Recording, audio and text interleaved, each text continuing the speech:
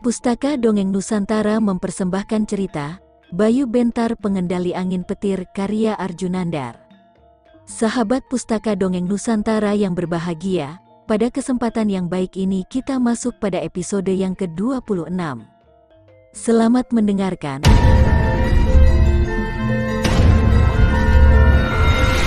Memang godaannya sangat berat ketika hanya berduaan di satu tempat dengan lawan jenis.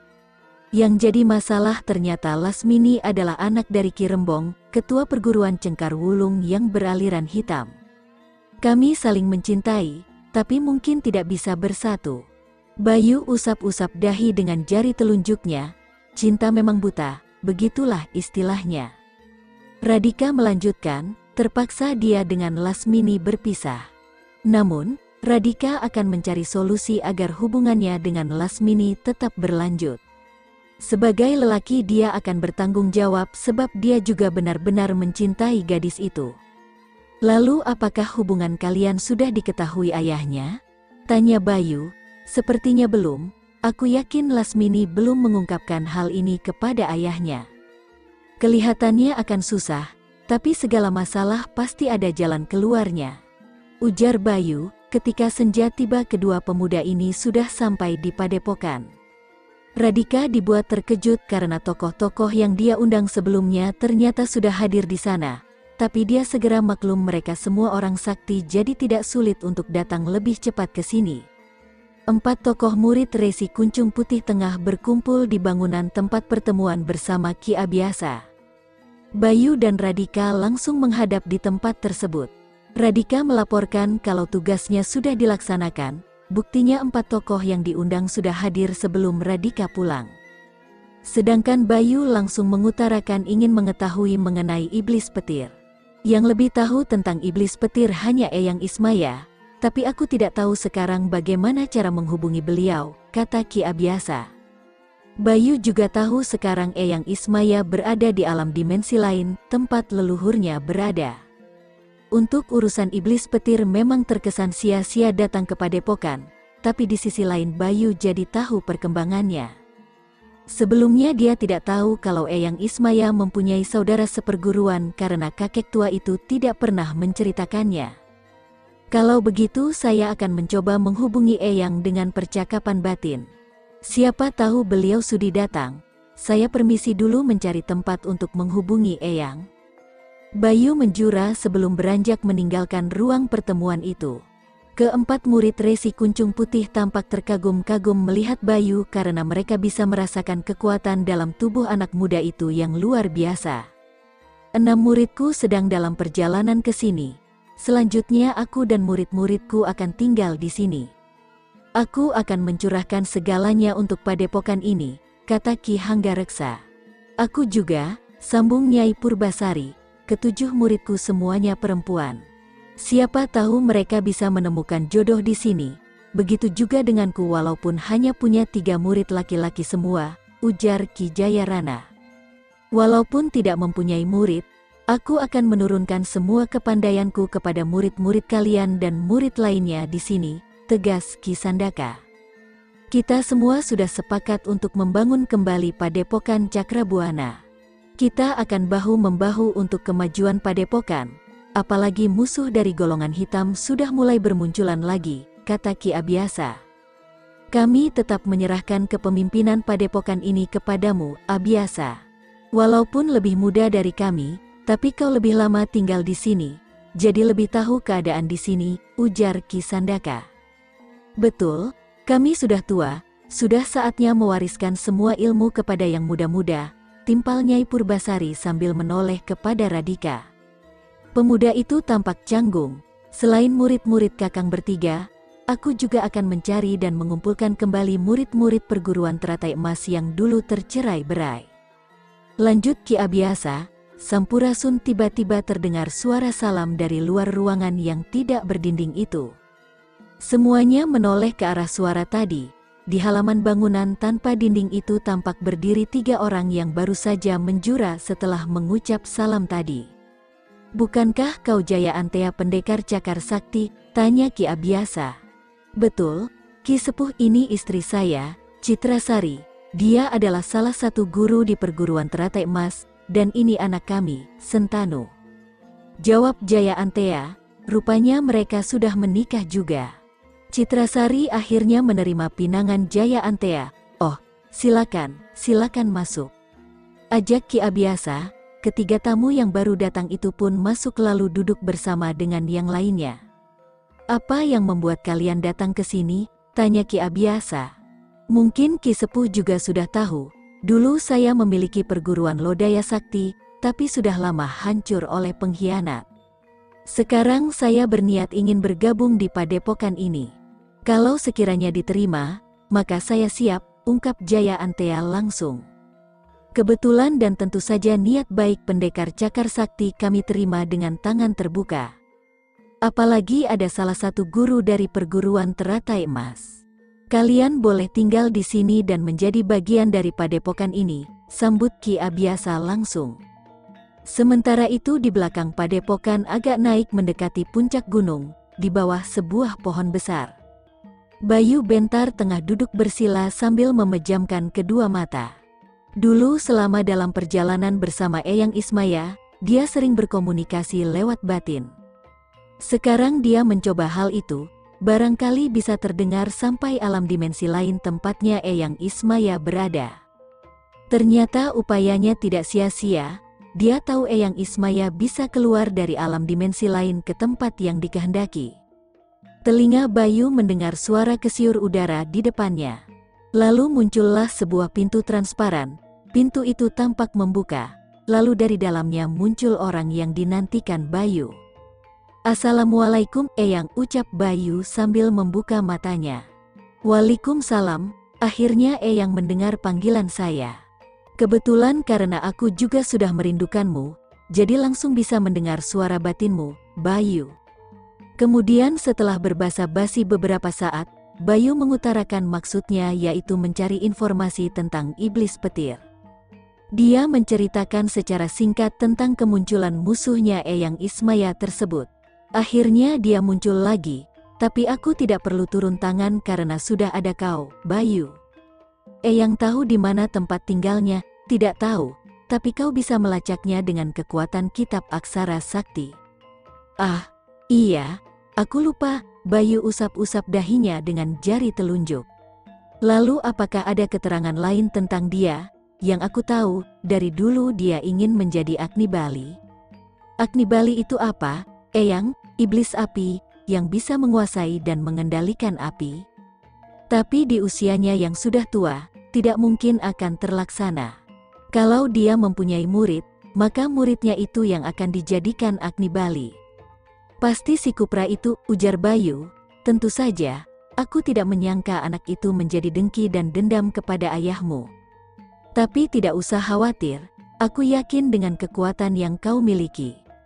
Terima kasih atas petunjuk Eyang, maukah kau singgah sebentar ke tempatku? Miranti merindukanmu, Bayu tercekat mendengarnya. Bukan tidak mungkin Eyang Ismaya dan yang lainnya tahu tentang kedekatan dia dengan gadis cucunya Nenek Winah itu. Anak muda ini jadi tampak canggung, sedangkan Eyang Ismaya terkekeh. Aku, aku takut, nantinya tidak mau keluar lagi. Bayu menundukkan wajahnya yang memerah. Ada dua wanita yang sudah dekat dengannya. Miranti di alam dimensi lain dan Asmarini yang sudah dijodohkan oleh orang tuanya. Sebagai laki-laki normal dia tidak menyangkal kalau menyukai kedua wanita yang memiliki kecantikan berbeda itu. Apa kau tidak merindukan dia? Tanya Eyang Ismaya. Bayu semakin canggung, kali ini bukan usap-usap dahi lagi, tapi garuk-garuk kepala bagian belakang. Dia bingung harus menjawab apa, sementara Eyang Ismaya masih tertawa mengekeh. Sudahlah kalau kau malu menjawabnya, ini aku berikan sebongkah kecil permata biru agar kau bisa leluasa masuk ke tempatku. Eyang Ismaya mengambil sesuatu dari balik ikat pinggang. Sebuah batu permata biru sebesar ujung jari kelingking disodorkan ke Bayu. Beberapa saat Bayu tampak ragu menerima benda tersebut. Dia memang menginginkan benda itu agar tidak perlu susah-susah memanggil Eyang Ismaya dengan kontak batin. Lalu pemuda ini menerima batu permata biru tersebut dan segera memasukkan ke balik ikat pinggangnya. Terima kasih, Eyang, baiklah, aku pergi dulu, Assalamualaikum. Sosok Eyang Ismaya masuk lagi ke pintu transparan. Pintu ajaib itu pun menghilang, Bayu menarik napas lega setelah menjawab salam. Beberapa waktu lalu ayahnya mengingatkan tentang Asmarini, sekarang Eyang Ismaya menyebut Miranti. Kedua gadis itu sudah jelas menyatakan rasa suka terhadap dirinya. Tidak mau berlarut-larut dalam memikirkan kedua gadis itu, Bayu segera meninggalkan tempat itu, masuk kembali ke padepokan. Seperti yang telah diceritakan Radika, di daerah pelabuhan Kalapa terdapat sebuah perguruan golongan hitam yaitu Cengkar Wulung yang dipimpin oleh Ki Rembong. Saat ini di perguruan tersebut terjadi kegegeran di mana anak semata wayang sang ketua diketahui telah menghilang. Sudah tiga hari ini gadis bernama Lasmini itu tidak tahu berada di mana juntrungannya. Ki Rembong tampak marah dan juga gelisah, seluruh murid yang dikerahkan untuk mencari anak gadisnya tidak menemui hasil satupun. Ditambah lagi dia mendapatkan keterangan dari salah satu muridnya bahwa Lasmini pergi bersama seorang pemuda. Tidak ada yang tahu siapa pemuda yang telah membawa pergi anak gadisnya itu. Siapa yang telah berani membawa anak gadisnya itu? Sedangkan Ki Rembong telah mengikat perjanjian dengan seorang temannya dari golongan hitam juga yang bernama Ki Warakas Ketua Perguruan Orai Hideng. Rencananya Lasmini akan dijodohkan dengan anaknya Ki Warakas yang bernama Amoksa yang tidak akan lama lagi datang ke perguruan ini untuk menentukan perjodohan. Sementara Lasmini belum juga ditemukan. Ke mana gadis itu sebenarnya? Sekarang di halaman depan tempat pertemuan, Ki Rembong mengumpulkan semua muridnya. Tiga hari lagi di Warakas dari perguruan Orai Hideng akan datang. Kalian bentuk beberapa kelompok dan cari lagi Lasmini sampai dapat sebelum kedatangan Ki Warakas. Baik ketua, perintah segera kami laksanakan, jawab salah seorang murid senior. Kemudian dia segera mengatur murid-murid lain untuk membentuk beberapa kelompok yang nantinya akan disebarkan ke segala penjuru untuk mencari keberadaan Lasmini. Namun, baru juga selesai membentuk tim pencarian tiba-tiba udara di sekitar tempat itu terasa sangat panas terik. Ki Rembong merasakan ini bukan udara biasa, tapi sebuah hawa sakti yang dikirimkan oleh seseorang. Begitu juga dengan murid-muridnya menganggap hawa panas ini adalah tanda kedatangan seseorang.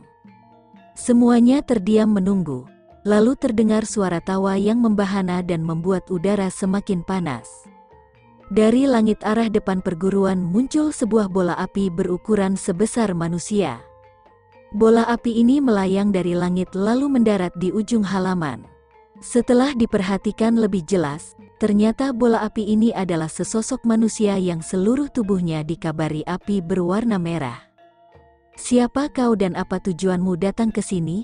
Tanya Ki Rembong dengan suara lantang. Manusia yang dikabari api mengeluarkan tawa lagi lebih keras sambil merentangkan kedua tangannya ke atas. Seketika kobaran api di tubuhnya semakin membesar menambah hawa panas semakin kuat. Aku Agni Bali, penguasa baru rimba persilatan, datang ke sini hendak memerintahkan kalian agar tunduk dan patuh padaku. Lancang sekali kau, teriak Ki Rembong, manusia api balas berteriak sambil menyentakkan kedua tangannya. Seketika seluruh perguruan dikepung oleh kobaran api besar yang siap melahap seluruh bangunan. Tunduk padaku atau ku bumi hanguskan tempat ini bersama seluruh isinya. Perguruan Cengkar Wulung dikepung kobaran api raksasa. Seluruh murid merasakan seperti dipanggang walaupun sudah mengerahkan hawa sakti agar bisa bertahan. Ki Rembong sendiri sampai bermandikan keringat, dia ingin melawan, tapi semua ilmunya juga bersifat panas yang malah akan menambah terik keadaan. Manusia yang dikobari api ini sangat luar biasa, Ki Rembong dan murid-muridnya baru melihat orang ini. Rasanya tidak mungkin melawan untuk saat ini, siapa kau sebenarnya? Sudah kubilang aku Agni Bali, kalau kalian ingin lebih jelas, Iblis Petir adalah gurukul Ki Rembong sedikit terkesiap. Beberapa waktu lalu sempat tersiar kabar bahwa Iblis Petir muncul lagi. Ternyata bukan kabar burung, bahkan sekarang muridnya yang muncul. Muridnya saja sudah begini sakti, apalagi gurunya. Tidak ada jalan lain, untuk menyelamatkan nyawanya dan juga murid-muridnya, mungkin harus menuruti kemauan si Agni Bali ini. Baiklah, tarik seranganmu, kita bicarakan secara baik-baik. Pinta Kirembong, untuk sementara tidak mengapa menjadi bawahan orang ini. Seketika kobaran api raksasa tertarik ke dalam tubuh Agni Bali yang tidak lain adalah kupra muridnya Iblis Petir. Api yang menyala di tubuhnya juga tampak menipis. Bagus, seharusnya dari tadi begini, para murid perguruan Cengkar Wulung akhirnya menarik napas lega. Di antara mereka ada yang ilmunya rendah hampir saja tewas akibat hawa panas tadi.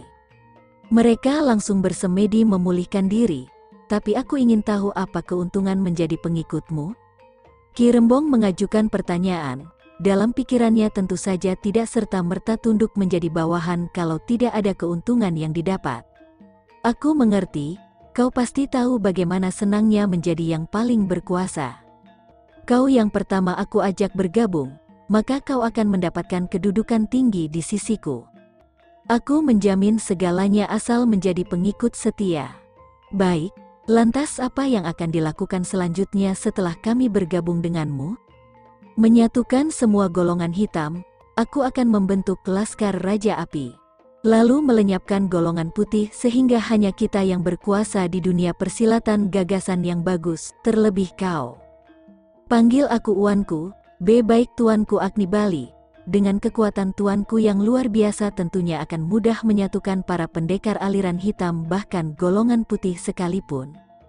Aku tidak akan menarik yang telah melarikan putriku. Tugaskan sebagian muridmu untuk mencarinya dan sebagian lagi termasuk kamu ikut aku menyambangi perguruan lain. Ki Rembong hanya memberikan isyarat dengan gerakan kepala. Seketika seluruh muridnya sudah terbagi menjadi dua kelompok. Satu kelompok dipimpin oleh muridnya yang paling sakti untuk mencari Lasmini. Satu lagi dia sendiri yang memimpin dan mengikuti yang telah melarikan putriku. Tugaskan sebagian muridmu untuk mencarinya dan sebagian lagi termasuk kamu ikut aku menyambangi perguruan lain. Ki Rembong hanya memberikan isyarat dengan gerakan kepala. Seketika seluruh muridnya sudah terbagi menjadi dua kelompok. Satu kelompok dipimpin oleh muridnya yang paling sakti untuk mencari Lasmini. Satu lagi dia sendiri yang memimpin dan mengikuti dalam. Ki Rembong langsung mengajak Kiwarakas masuk ke dalam salah satu ruangan. Di sana Ki Rembong langsung menjelaskan tentang Agni Bali. Tidak lama kemudian mereka keluar lagi, Ki Warakas tampak menatap tajam ke arah Kupra. Kedua tangannya tampak diselimuti asap hitam tipis disertai suara seperti ular mendesis. Tiba-tiba kedua tangan Ki Warakas menyentak ke depan. Asap hitam yang menyelimutinya melesat juga ke depan. Di tengah udara kedua asap itu berubah menjadi dua ekor ular hitam yang hendak menyerang Agni Bali. Kupra hanya menyeringai tipis, lalu dari sepasang matanya melesat sinar merah menyambut serangan dua ekor ular hitam sebesar paha orang dewasa itu. Blup PSSS dua ular hitam tersebut langsung hangus menjadi abu begitu setelah terkena hantaman sinar merah.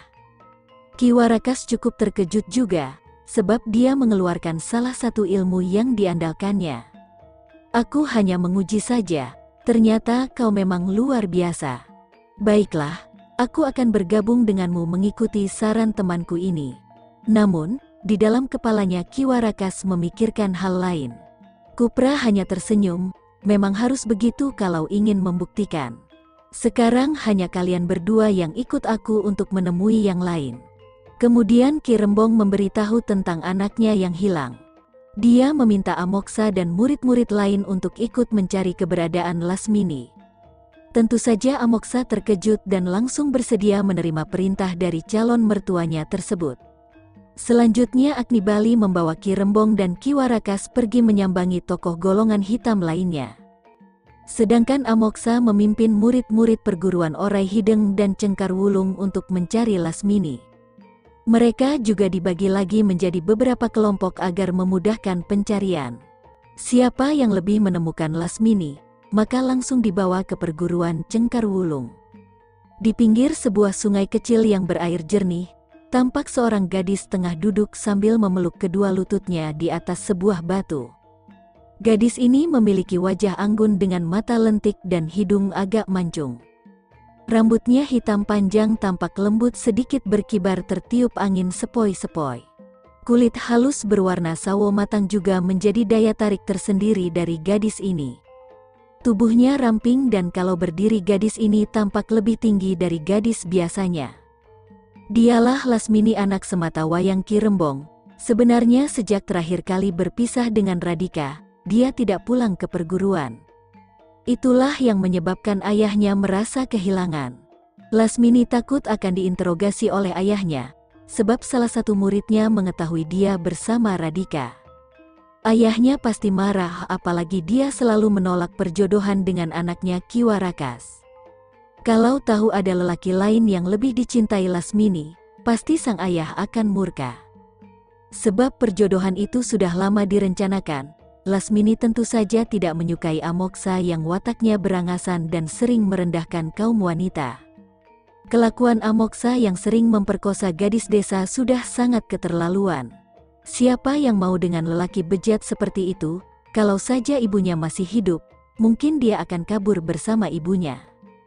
Karena ibunya juga tadinya korban kebejatan ayahnya. Hanya saja sang ayah begitu sangat mencintai ibunya sehingga dijadikan istri walau secara paksa. Ibunya meninggal karena selalu menderita tekanan batin setelah melahirkannya. Setelah ibunya tiada, Ki Rembong merawat dan mendidiknya hingga besar. Tentu saja Ki Rembong mendidik dengan cara watak orang aliran hitam, tapi anehnya didikan itu tidak masuk ke otak Lasmini. Sifat gadis ini tetap lembut seperti ibunya, kembali ke Lasmini. Akhirnya gadis itu nekat kabur dan mungkin akan pergi ke padepokan Cakrabuana mencari Radika. Tentunya dia harus segera cepat ke sana sebelum ayah dan murid-muridnya keburu menemukannya. Di saat sedang merenung memikirkan nasibnya, tiba-tiba telinganya mendengar suatu kegaduhan di kejauhan. Lasmini mendengar suara senjata yang beradu, sepertinya ada sebuah pertarungan di sana. Segera saja gadis ini berkelebat ke arah sumber suara.